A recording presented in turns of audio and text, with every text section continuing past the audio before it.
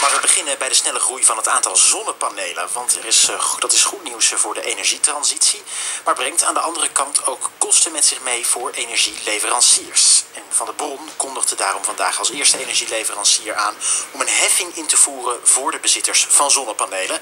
En de verwachting is dat andere energieleveranciers van de Bron zullen volgen.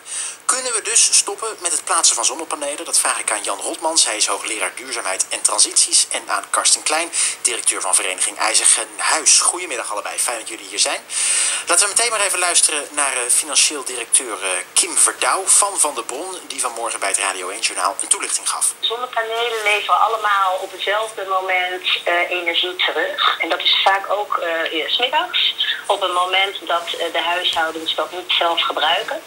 Dus daardoor ontstaat een overschot aan aanbod en eigenlijk een tekort aan vraag. En dat brengt kosten met zich mee. Nou, die kosten die moeten gedekt worden. En uh, wij hebben ertoe besloten dat de, de klanten met zonnepanelen uh, daardoor iets minder voordeel uh, hebben.